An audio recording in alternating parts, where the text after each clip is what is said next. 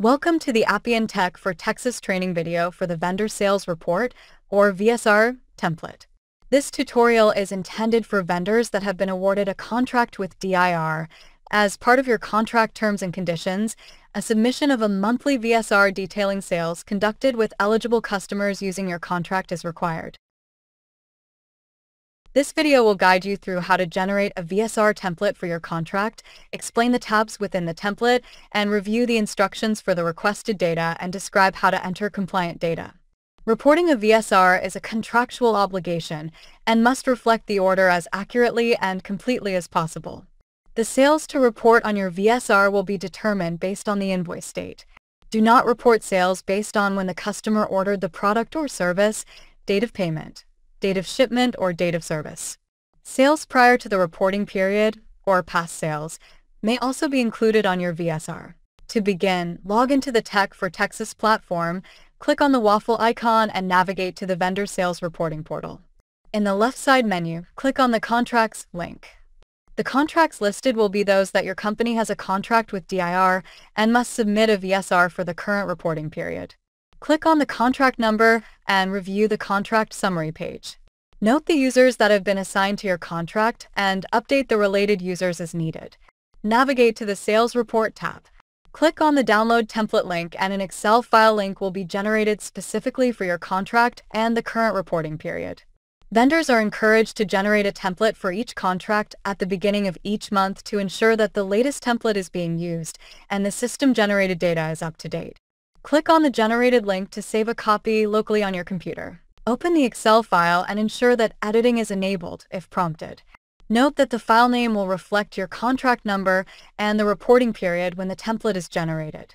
The tabs on the template include Instructions, Sales Report, Contract, Customers, Resellers, Subcontractors, Brands, and Product Types. Please do not add, remove, or modify any of the tabs on the template. The Instructions tab will outline each column to report on the Sales Report tab with instructions on how to provide the data requested. Each line item to report will include three components. The customer on the sale, whether a reseller or subcontractor was used, and the details of the sales transaction. The customer section will detail the customer that was sold to and will include the customer's official name as listed on the Customers tab, the contact information for the person associated with the sale, and the customer's billing and shipping address.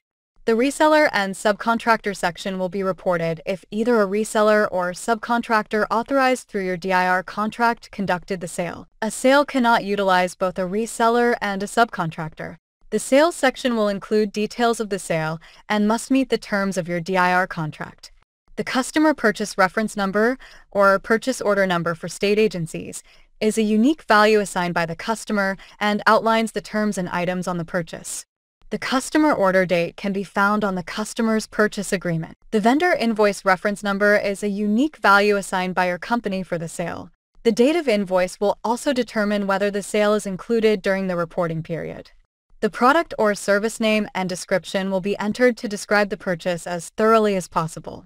The product brand name will be entered based on brands that have been authorized in your contract and can be found on the Brands tab. The product type and subtype fields will be entered based on the scope of the request for offer, or RFO, that your contract was awarded under, and acceptable values can be found on the Product Type tab. Based on your contract terms and conditions and Pricing Index Appendix C, Enter either the contract discount percent range or contract discount set price as appropriate for the sales item. The product MSRP or the list price will be entered based on the price of the item at the time of customer inquiry. This field is optional if your contract is awarded under the IT Staffing Contracts or ITSAC, Deliverable-Based IT Services, or Telecommunication RFOs. The sales price and quantity will match the purchase agreement and must be a non-negative number. Credits on previously reported sales will not be reported in your VSR using the price, quantity, or extended price column. Credits will be reported directly through the VSR portal and is subject to DIR approval.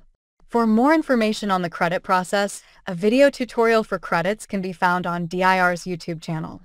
For ITSAC contracts, enter the data in the ITSAC portal solicitation number assigned by the customer, the ITSAC contractor's first and last name, and the position's title if undefined title was entered in the product subtype field. The Sales Report tab will be used to insert your sales data. Please do not add, remove, or modify any of the column headers on the Sales Report tab.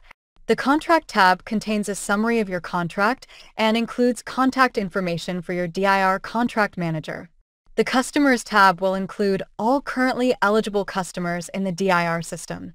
This list does not include all eligible customers for DIR and will change over time depending on new customers or customers that have lost their eligibility status.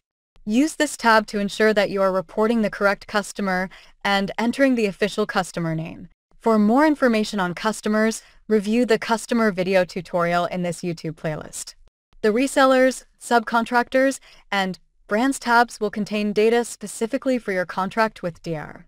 These tabs will populate contract-specific data from the DIR system when the template is generated.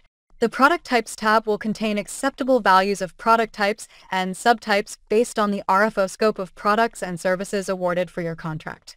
For ITSAC companies, this tab will also include the acceptable not to exceed NTE rates based on category, title, and level. Please be sure to view other training videos in this series on the DIR YouTube channel to learn more about the Appian Tech for Texas platform.